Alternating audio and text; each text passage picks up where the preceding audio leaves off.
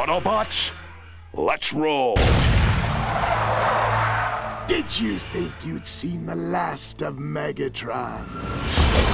Coming back together again to do this project uh, is a real treat, and it's always a thrill to work with, with Peter. Did we actually have a rivalry? I think in terms of our characters, but uh, in terms of personalities, the casts were always very fun and very fair. Yeah. Destroy the Decepticons! The game that came out, it's amazing. You can stop action, you can get reports on characters, you get GPS, and I mean, it's unbelievable. And these one-dimensional characters that we were playing back in the old days are now, you know, just incredible feats of color and technology. It was metal on metal, man. Yes, it was. That's it. A lot of that. Ah. Good versus evil is pretty hard to mess with that one.